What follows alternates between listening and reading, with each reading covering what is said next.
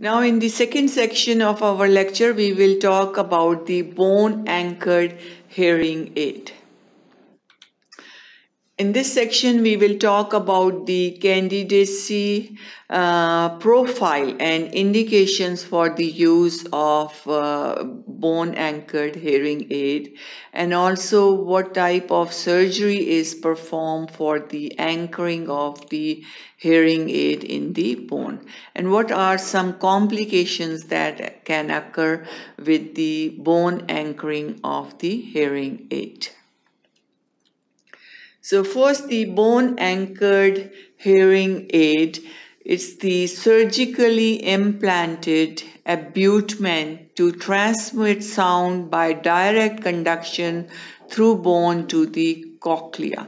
So uh, before we, we talked about conventional type of hearing aid and those type of hearing aid we just put them behind the ear and then we put the um, in uh, uh, in the ear the receiver amplifier and the microphone.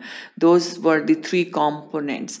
But now in this as the name shows the hearing aid is implanted on the bone and then that helps to transmit the sound from the bone to the cochlea for the uh, production of the sound or for hearing. So these are the actually the surgeries are performed for these type of hearing aids. So as you if you see the picture in this, this is the hearing aid that is implanted to the uh, bone to transmit sound by direct conduction through bone to the cochlea.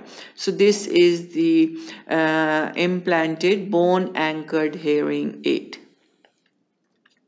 Principle of bone conduction it is used for conductive type of hearing loss also for uh, uni unilateral hearing loss or mixed hearing loss. So it is used for conductive and uh, sensory neural hearing loss and for both combined conductive and sensory neural type of hearing loss so it's useful for all type of hearing loss unilateral hearing loss not bilateral hearing loss so here this is the bone implanted or bone anchored type of hearing loss known as BAHA.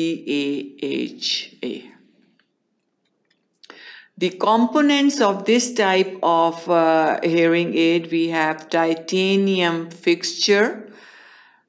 This is the fixture that is fixed in the bone.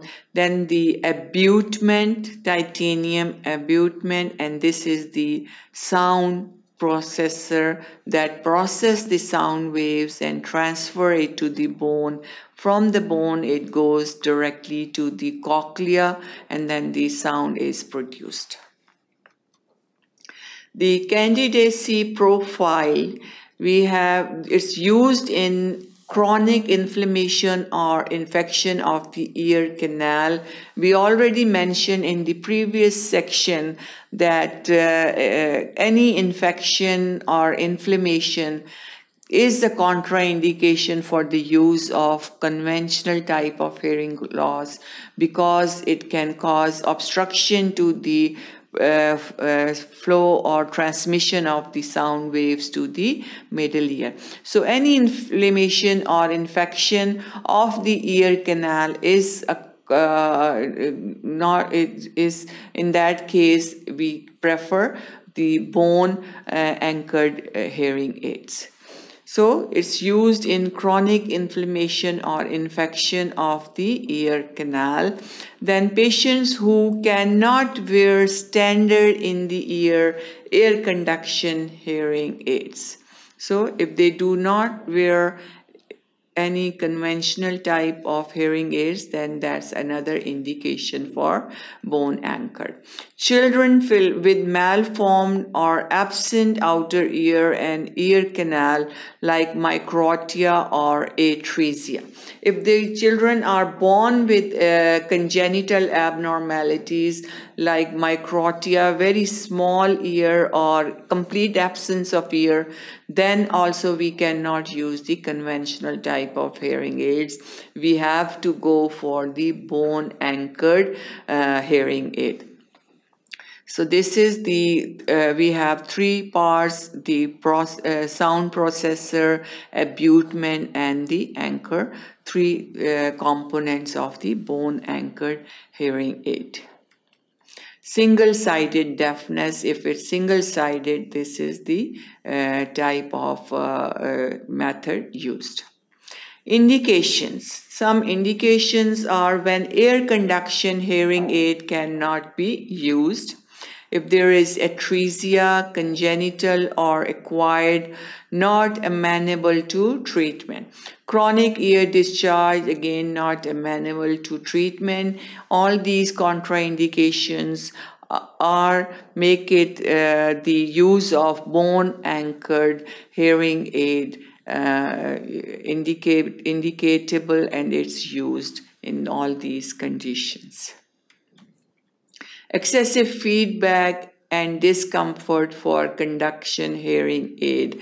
As I mentioned previously, excessive feedback is very common complaint of the patient who use uh, conventional type of uh, air conduction hearing aids they keep on complaining that they hear too much noises they cannot hear better because there are noises in the ear so a lot of people give give up and they don't use these hearing aids because of these complications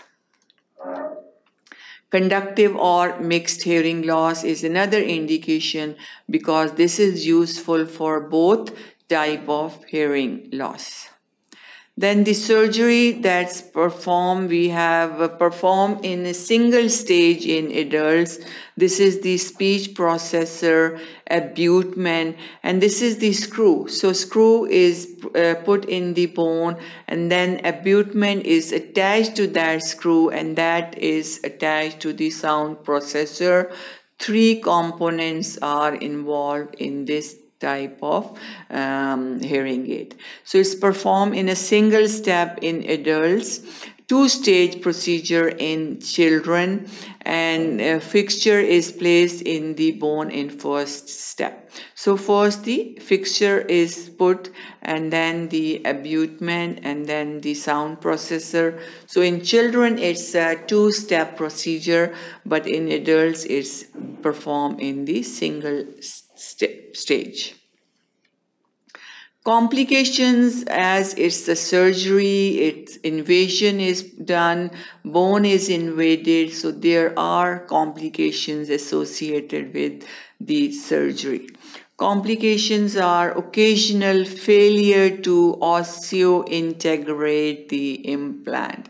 So it's failure to perform the function because of failure of osseointegration.